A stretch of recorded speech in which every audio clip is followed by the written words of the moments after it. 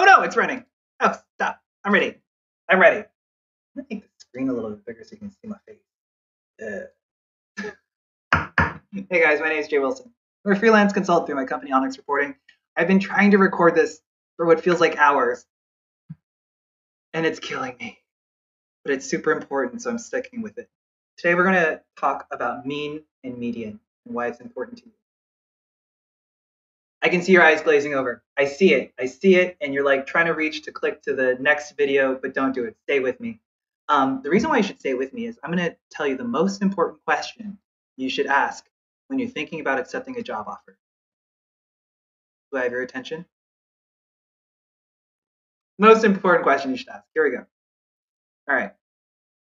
Now, when you're thinking about accepting a job offer, um, the recruiter or whoever you're talking to, they're going to try and impress you by telling you what the average salary. Is. This is going to be a fun game, guys. I uh, I went straight for controversy. Yeah, yeah. Here we go. Average salary, bam, sixty-nine thousand. You could be rolling in the dough. Now, average is interesting, but the question that you should ask, especially if you want to impress somebody, you should ask them what the median salary is. Why should you ask what the median salary is? The median salary tells you where the mid person is. If you have 20 people, it tells you what the middle person gets paid. Why do you care? Because knowing what the middle is gives you an idea of what you can expect for yourself. Now, I know you guys are all above average. See what I did there? right? You, everybody's above average, right? But you want to know what the middle is. And average is not the middle. What do I mean by that? Well, let me sort my data in alphabetical, or sorry, yeah, numerical order, and uh, we're going to number them.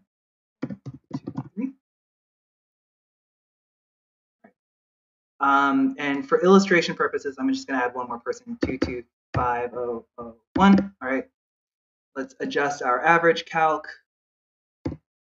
Oh my goodness, did you see how much higher that number got? It, the average jumped from 69 to 77,000 by adding one person who was getting 225. And you're like, oh, don't worry, that's going to be me. Well, the median only moved from 47 to 48. So again, the middle of the pack is only making 48,000. So what do I mean by middle of the pack?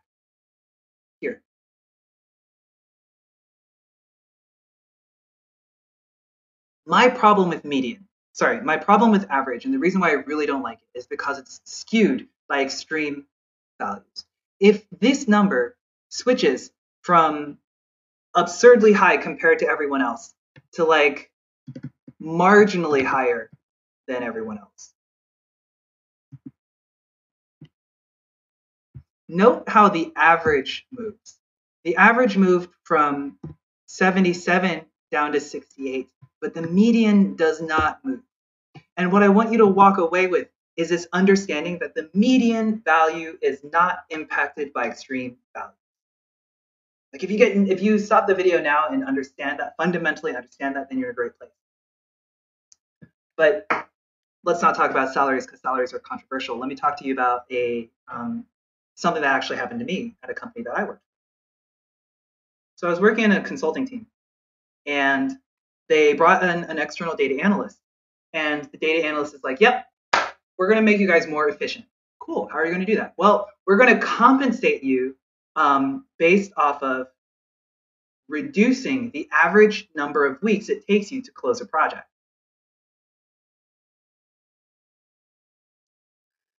And Jae Wilson, ever the guy with opinions, um, immediately said, well, average days to close a project is a really stupid way of um, do, approaching this, and it de-incentivizes what you want from us.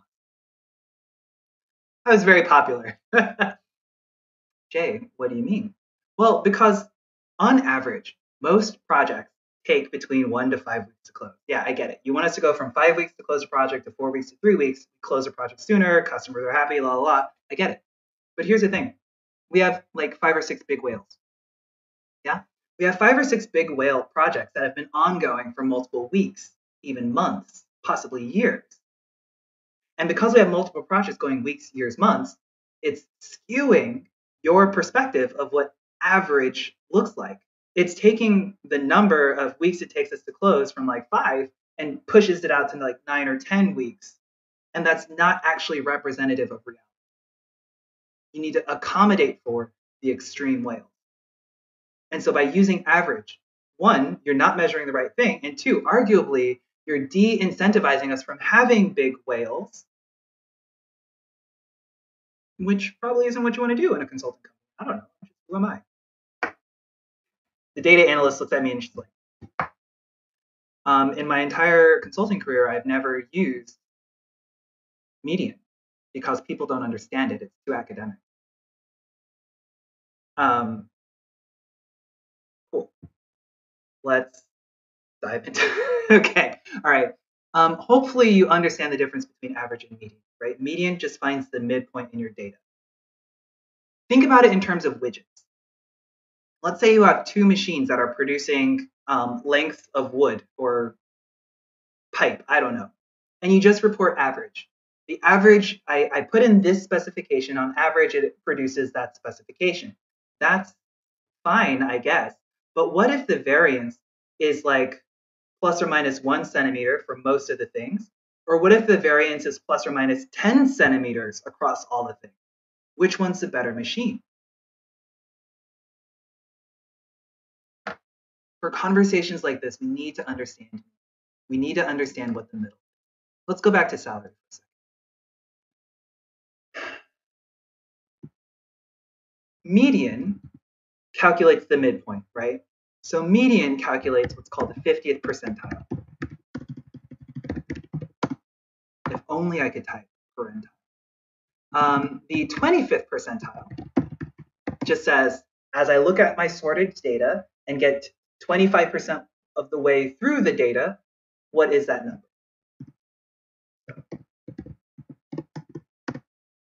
In this array of values, where is my 25th percentile? 3, 8. Here.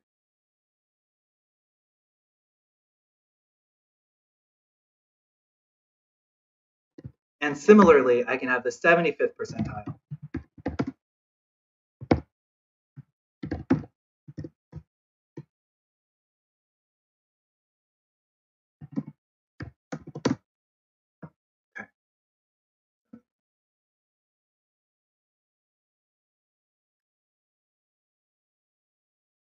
So if you take your data and, and, and calculate the 25th and the 75th and the 50th percentile, they should be equidistant apart.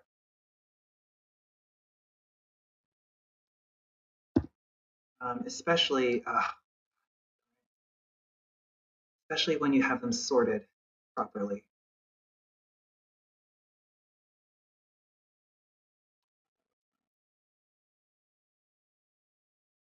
Sort, please.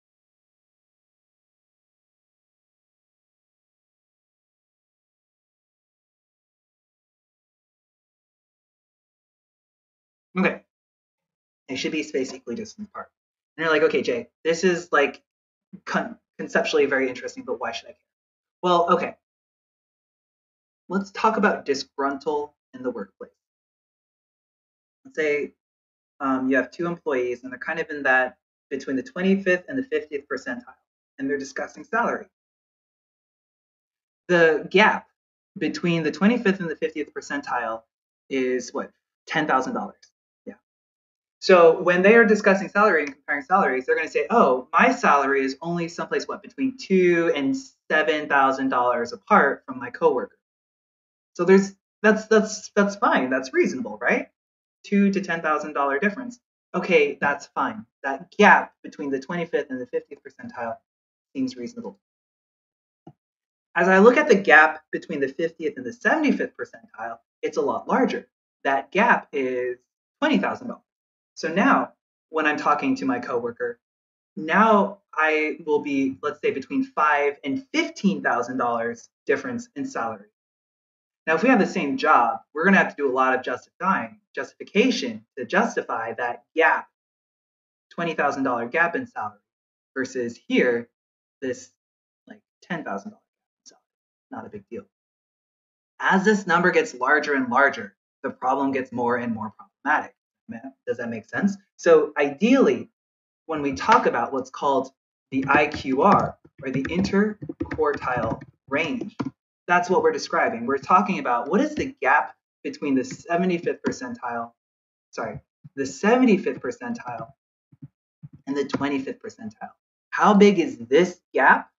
And how does that speak to, and where is the median uh, centered in that gap um, to talk about what kind of variance we're having? Again, if I'm talking about a machine that's cutting sticks, if all of the sticks are plus or minus one centimeter from the middle, that, that's one thing. But if they're plus or minus 10 centimeters from the middle, maybe that's a bad machine. If I only look at average, they could all have the same average, but that variance is not the same. All right, let's see what that looks like in Domo. I feel like I'm like talking a lot up in the air. Sorry about that. I hope I hope this is all making sense. If I go into Analyzer, we have a couple tools that can help.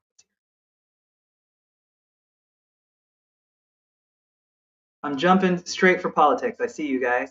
Uh, we're gonna put gender on the axis. Let's talk about salary.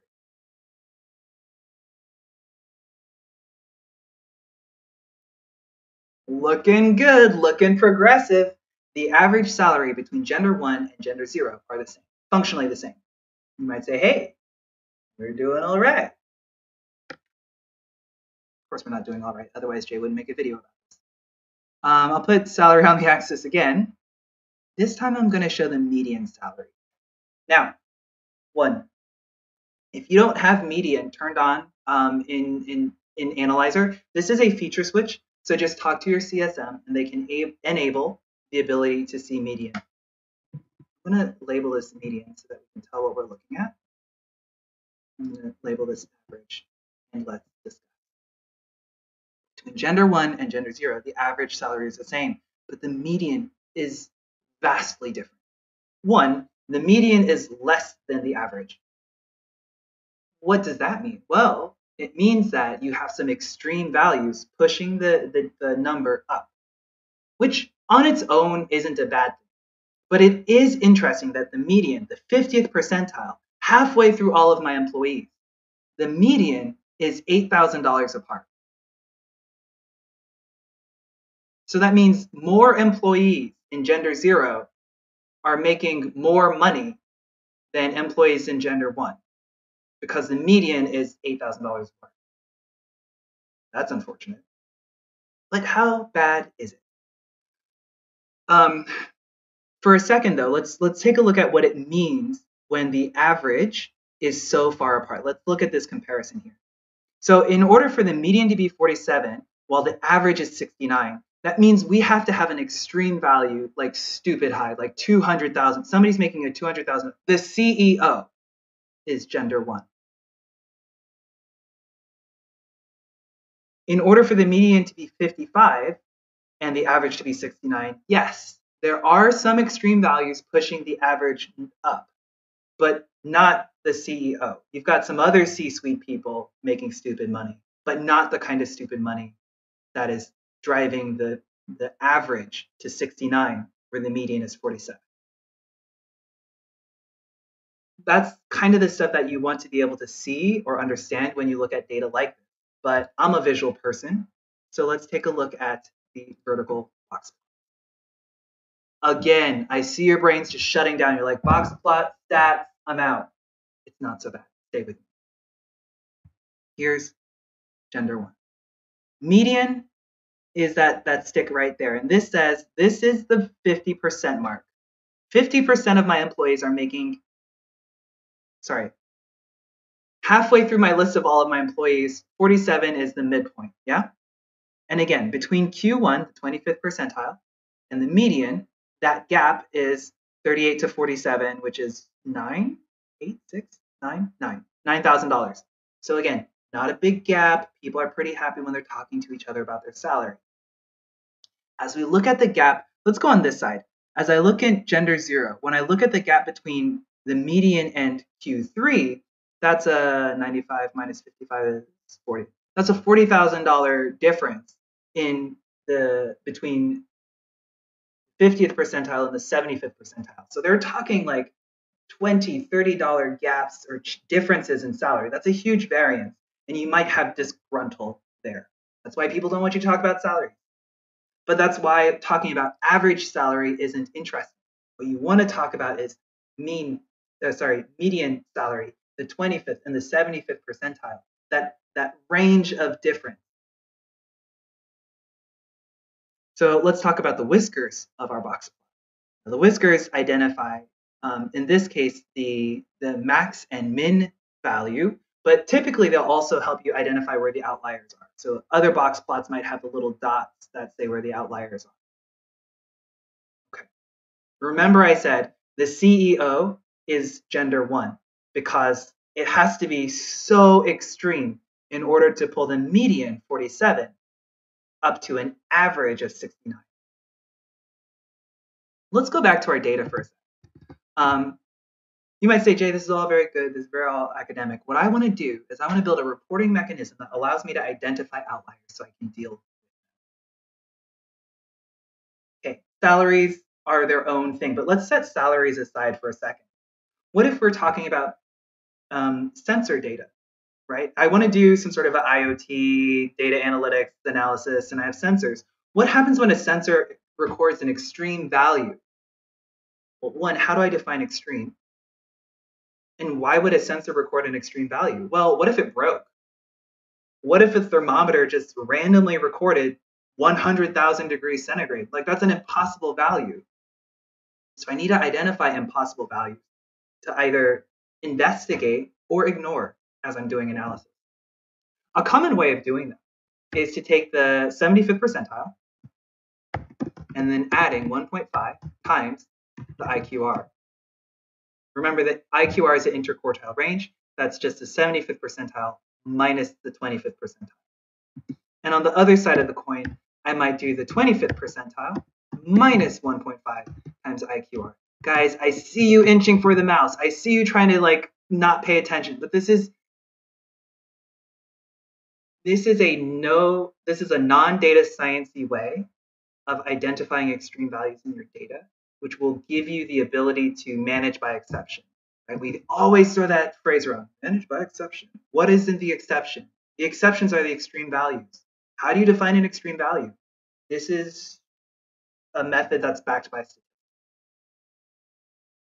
Um, so I can take my 75th percentile I can add 1.5 times the interquartile range, which is the 75th percentile, minus the 25th percentile. And so I get the number uh, 100, 120,000. So what is 120,000? It tells me that any value above 120,000 is weird it bears investigation. These guys here are extreme values, and I should justify their existence. In the case of salaries, yeah, somebody's got to be the boss. I get it. But if, if I'm talking about measuring, like cutting widgets or temperatures in an IoT use case, right? If I start having these extreme values, I should be worried about those. Maybe they're fine, but maybe it's a malfunction. In the context of my um, how the number of days it takes to close a project. One, one to five to seven to 10 weeks is fine, but 52 weeks or 104 weeks, right? Those are so extreme. We should probably ignore those because that's not normal behavior. Now, um, depending on your use case, you might choose to identify outliers as like 1.5 times the IQR and like so stupid it's probably broken as three times IQR. Again, this is just stats, um, but you can apply your business domain um, expertise here to decide what you um, use as your kind of um, cutoff point for defining extreme value. Now, this is not available in the box and whiskers plot, and out of the box Domo today, right now, doesn't give you the ability to do this unless you enroll and take advantage of some of the new beta features that are coming out. So if you're not familiar with the beta features that Domo has in the pipeline, talk to your CSM. It's a Domo is doing such cool development and adding features to Domo, arguably things that they probably should have put in place a long time ago, but I'm not going to slag them off about that right now. Let's take a look at the Views Explorer. What we're going to see is how we can create um, basically alerts that identify extreme values for me in a data set. So what I'll start with is the Data Views Explorer. Um, they previewed this at Domopalooza 2020. Everybody's super excited about it, especially me. Um, I have the ability to calculate not only some average, mean, median, but I can calculate now the 25th and 75th percentile. Very exciting, very cool. I'll save that as a view. Now, one of the cool things about the data views is it's not an ETL, it's a view. It's a query being handled by Adrenaline. So basically, as soon as the data updates in my web form or new data comes in from the cloud or wherever, the views automatically update. I don't have to run an ETL. I see the results instantaneously. Very exciting. Um, so now I have two rows, one row per gender. I have my salary, uh, the 25th and 75th percentile, curiously captured as text. It's a beta. They'll fix it. Next, um, I'm going to create a blend. In this blend, I'm going to combine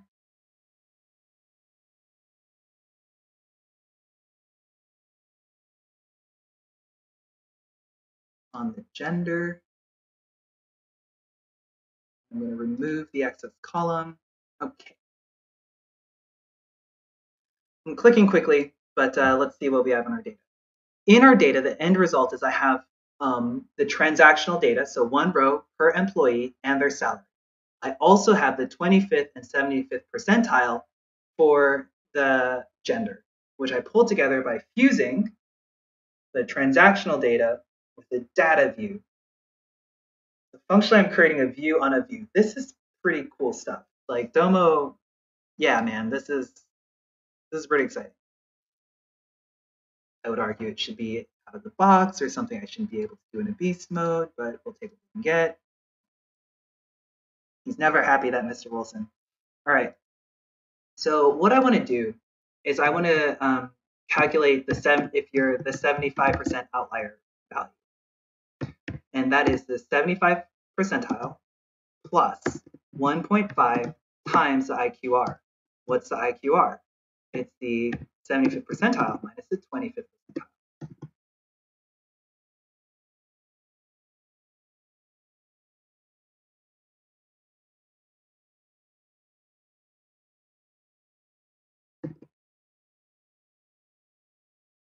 So what is this telling me?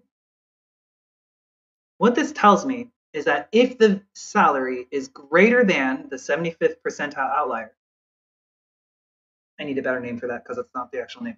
Um, but if if 41,000 is greater than 127,000, then it is it is an extreme value. I want that in a report that comes to me and it has to justify its existence or exclude it from analysis.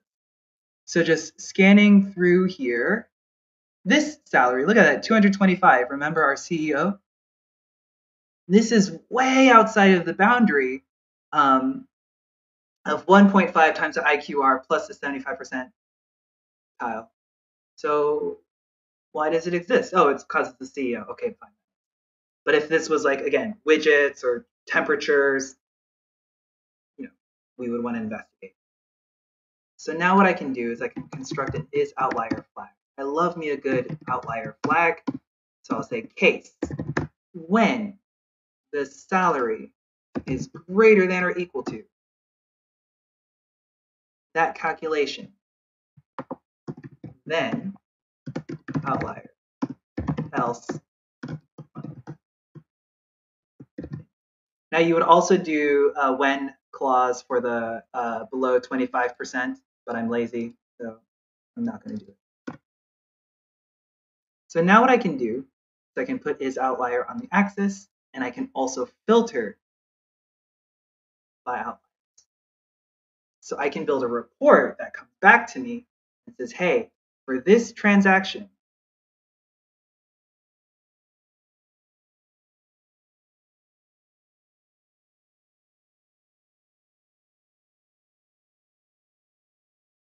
for um, this transaction, this employee, 18 and 19, um, this is their reported salary, this is how high it should be or what we consider reasonable, but it's outside the thing. So let's talk about it, right? Cool. You stuck with me this far. Thanks so much. Um, I hope you guys are getting some valuable um, information out of this. Uh, again, we put this, or I put this um, video together because I wanted to talk a little bit about mean and median. I wanted to talk about data literacy because, you know, one of the things that makes Domo super cool is you get access to all of this data at your fingertips. You talk about having insight and, and availability see trends in your data. But I wanted to make sure that we're not interpreting the wrong thing from our data. And so we need to talk about how average different differs from median. And if I were going to sum it up in one statement, the thing that sets average and median apart is average is very subject to influence by outlier or extreme values. I talked about my example of most of our projects close in four weeks, but sometimes they close in two years. The extreme values will shift the average, making it so that the average is not representative of the rest of the population. Median, however, finds the midpoint in my data, the 50th percentile. And as long as I don't have a lot of extreme values, my median, my midpoint doesn't really move, or it will at most move up or down one or two slots. So as this changes, right, the, to, down to 25, the median moved here, but that's fine because it's still representative of the midpoint of my the midpoint of my data. We looked at the interquartile range, which again is the math, the, the difference between the 75th and the 25th percentile. The 75th to 25th percentile is important because it says the middle 50% of my data has this range in terms of interpreting it. Remember, we had our little box plot.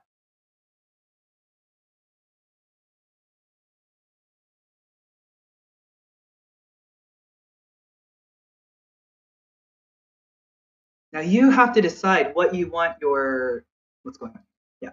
You have to decide what you want your box plot to look like, what normal looks like. But ideally, you want your median to be in the middle of your IQR, in the middle of this band. And you want it to be a relatively small band, or at least when it's a small band, a narrow band, it suggests there's less variability in the data. Here, this is your HR person's nightmare your HR person's nightmare. You don't want people talking about their salaries because there's such extreme variance in the thing. Um, at the end of the day, we started off um, with average. And I, I am truly on a crusade against average. I hate it with a burning passion, mostly because people assume it means something. Um, have gender twice, and I need the whole problem was that when I look at average, average doesn't tell me anything, or it doesn't give you enough context to make good um, conclusions. When I look at average, it suggests that um, my employees are getting paid um, the same amount regardless of gender. But as I compare median, and average, we see there's a more nuanced story going on. There's more happening. And at the end of the day, regardless of what your use case is, that's what it's about. Is is about understanding that average and median are both very valuable metrics, um, and interpreting them correctly is very important. If you have any other questions, um, or if you need help with your Domo implementation, my name is Jae Wilson. I'm a freelance consultant through my company, Onyx Reporting. This is the kind of stuff that I think about all day. Um, if you want to reach out to me, Uh, leave a comment in the channel or email me direct at jae at onyxreporting.com. Thanks so much, guys.